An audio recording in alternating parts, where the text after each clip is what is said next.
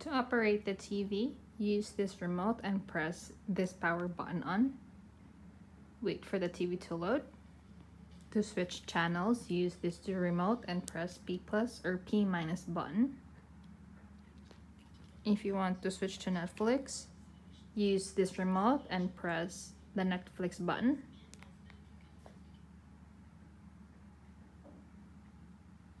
Again, if you want to go back to TV channels, use this remote, press input, choose HDMI 1 and press OK.